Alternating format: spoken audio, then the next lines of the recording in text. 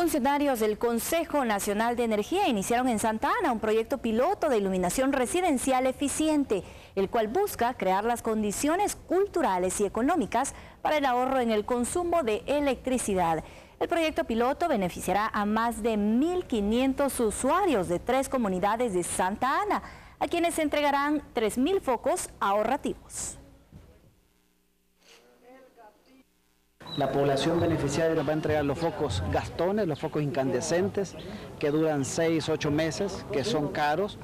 Y le vamos a entregar en cambio dos focos ahorradores que duran 8 años y que son de bajo consumo de energía y de bajo consumo de dinero.